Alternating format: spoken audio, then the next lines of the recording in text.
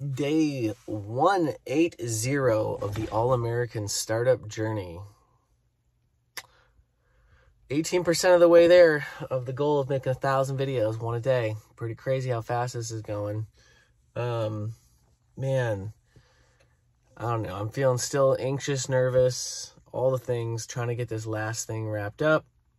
And uh, I have not heard word for about 72 hours man, I know it's this thing's going faster than normal, but it is like really hard for me to just not have this thing done. So we'll see what tomorrow brings, but oh yeah.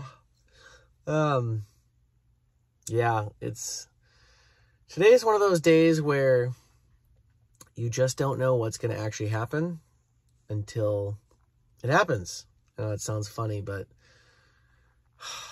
today's one of those days where it's it's just it's a pretty tough day.